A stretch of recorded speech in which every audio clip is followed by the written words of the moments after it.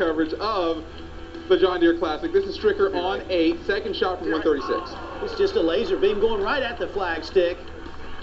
He's making this game look easy. Looks like a video game right now. All right, matching each other shot for shot. Here's Goydos on eight, his birdie. He channeled a little bit of the magic he had with the putter on Thursday when he put that 59 on the board. Yeah, he was the magic man that day, but uh, on this day it was Stricker. Here he is on 10, the par 5. Yep, this is a three-shotter, very long par 5. Turns it into a uh, four-shotter. He would make that for birdie. Very well played right there. Gets to 20 under, a two-shot lead. He was putting the hammer down. Look at this shot on 11 from 170. Play now that first cut. Sometimes it's hard to control the distance. Uh, I think he handled it very well, though. Uh, very nicely. Three-shot lead for Stricker at that point. Was he done? Oh, no. This is the par 3 12. From 31 feet, the putter working. Absolutely, it's working. This looks like a rat running in a hole. The lead is four. Par 4 14th hole. This is from 39 yards. Drove it to that point. Yeah, this is a hole that's uh, drivable. He wasn't in position A, but he carved out a little bit of something for himself. Yeah, well played there. The birdie's going to work. The lead is five. On the 15th hole, par 4, this from 22 feet 9 inches. One of the toughest holes on the golf course. Looking pretty easy for Steve Stricker, though. If you're counting Stricker's birdies, the number is now 8. Now the par 5, 17, third shot from the greenside bunker. Yeah, this was a very awkward linked bunker shot, and uh, just like everything this week, Steve Stricker made that look easy. So nine birdies for Stricker. Here he is, this third shot now after he, after he got out of position. This is third on the 18th. Drove it poorly here, wisely laid up, uh, very good yardage. Just within 10 inches of the hole.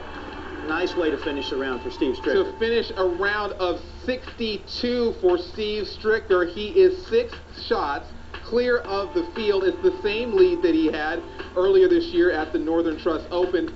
Oh, yeah, he won that one. Goydos with a 67 on the day. Jeff Maggert shot a 63. So did Shaun Micheel, who's continuing to put up good results despite not having full status on the tour.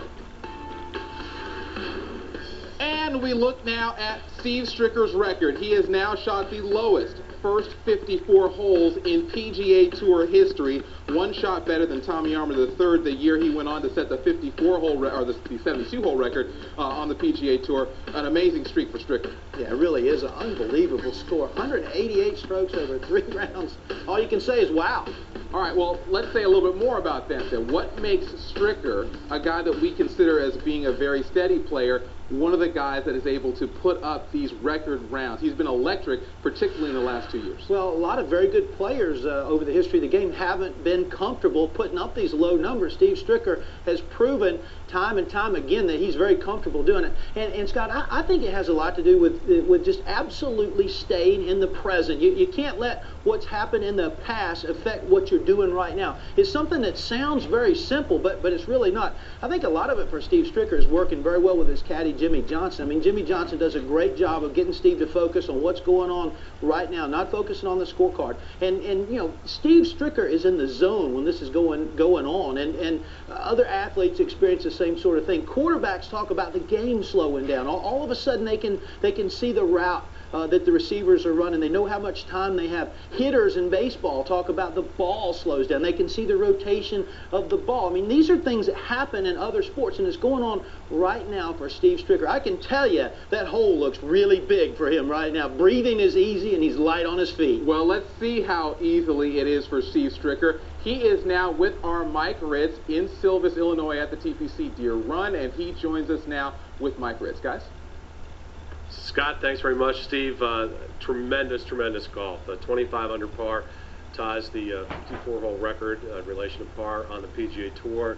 You're shattering the records here. What is going on? I have no idea. I'm just trying to stay out of my own way, to tell you the truth. And, uh, you know, there's so many birdie opportunities out here um, that I keep feeling like I better try to keep making them, you know, and, and you never know who's going to make a big run from behind. Uh, I never feel or felt today comfortable, even with a couple shot lead or whatever. I felt like I needed to go out there and get some more because um, you know you, you, just never know. Guys can go low here, and, and we've proven that this week. So I'm kind of cautious of that. Um, so I kind of continue to try to keep my foot down and, and moving forward. Well, you, you've birdied exactly half the holes. That's 27 birdies in 54 holes. I mean, are you even aware of what's going on out there, or you're just so focused and, and that's why it's happening? Yeah, I am very focused. I I'm not even paying attention to uh, how many under I am in a given round or anything, and I'm I'm just trying to hit each shot as it comes and, and give myself a, a look at it because I feel like I'm putting very well, and um, so I just you know that's my focus is get in, in the fairway and, and give myself a good look at it onto the green, and, and I feel really good over the ball when I'm putting it. Okay, you've got a six-shot lead heading into the final round. You had a six-shot lead at Riviera. You ended up winning by two. Riviera doesn't give up the kind of scores that TPC Deere Run gives up. So what do you do tomorrow? Well, you're right. Um, a six-shot lead here compared to Riviera, I think, is a little bit different. And um, you know, like I say, guys can get off to a hot start. Um, we were looking at the board. You know, there's two guys at 19, and then I think it goes back to 16. So, you know, I still my focus is to take care of myself. You know, I, I keep drumming that into my head while I'm out there, and and just stay focused and, and do it. You know, I know I can do, and and continue to move forward, and not really look uh, if I have to look behind me. Well, great play, man. Thank you so much for your time. Congratulations through three rounds. And, uh,